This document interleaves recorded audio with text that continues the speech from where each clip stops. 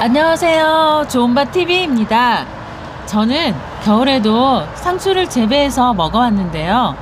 겨울에 노지에 어떻게 상추를 재배해 먹을까 하실지 모르지만 작년, 작년 영상을 보신 분들은 이해하실 수 있을 겁니다.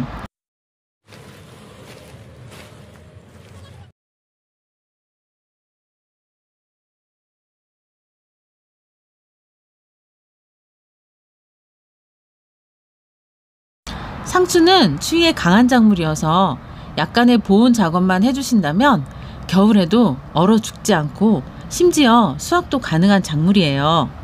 월동하는 몇 가지 작물 중에 상추도 포함되는데요. 매주 수확은 할 수 없지만 보온만 잘해주신다면 겨울 동안 두세 번은 수확 가능한 것 같아요. 작년에는 상추 상태가 좋아서 봄까지 한 네 번 정도 수확해 먹었던 기억이 있는지 있어요. 얼마나 맛있었는지 아직도 기억이 생생합니다. 겨울에 상추가 비싼 편이고 직접 재배해 먹으면 재미있기도 하고 즐겁기도 하고요. 저는 이곳에 별도 공간을 마련해서 11월 초에 활대를 해서 비닐로 보온 작업을 하고 상추를 집해, 직파해 놨습니다. 겨울이고 추운 날씨로 인해 상추가 많이 자라지는 않았겠지만 파릇파릇하게 싹이 올라오는 모습을 보려고 합니다. 얼마나 자랐는지 한번 비닐을 걷어 보도록 하겠습니다.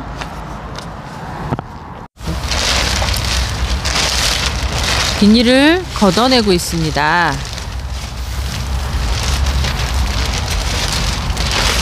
보이시나요? 상추가? 이거는 제가 지난번에 어, 저쪽 밭에서 옮겨 심은 상추들이에요. 옮겨 심은 상추랑 치컬인데 어, 아직도 싱싱하게 살아 있잖아요. 어, 한동안 날씨가 눈도 오고 되게 추웠었어요. 그런데도 어, 이렇게 싱싱하게 잘 자라고 있네요. 근데 날씨가 워낙 춥다 보니 어, 뜯어먹을 정도의 양은 크기는 아닌 것 같아요. 좀 더 자라면 뜯어 먹을 수 있을 것 같아요. 그러면 직파해 놓은 상추는 얼마나 자랐는지 한번 볼게요. 아, 그때 싹이 나기 시작했는데 아직 날이 춥다 보니 많이 자라지는 않은 것 같습니다.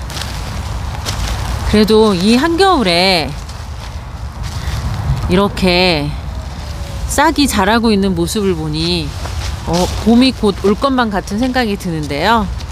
어, 날씨가 좀 더 따뜻하면 얘네들이 빨리 자라서 어, 빨리 뜯어서 식탁에 올려놓을 수 있을 텐데 어, 아직은 이제 자라고 있으니까 조금 지나면 상추들이 자라서 먹을 수 있지 않을까 싶습니다. 저기는 직파해 놓은 상추가 아직 많이 자라지 않았는데요. 이것은 제가 따로 상추를 어, 뜯어 먹기 위해서 보이세요, 여러분? 상추가 어, 싱싱하고 좋잖아요. 그쵸? 이거는 지금 뜯어서 식탁에 올려놔도 괜찮을 것 같아요. 제가 먹기 위해서 어, 따로 덮어놓은 상추들인데 어, 상추들이 너무 이쁘게 잘 자라고 있어요.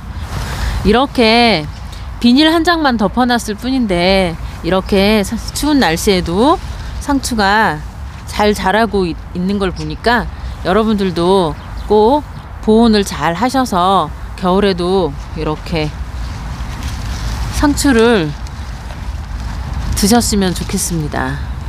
어, 상추 보이시죠? 요거는 오늘 수확해서 일부는 먹도록 하겠습니다.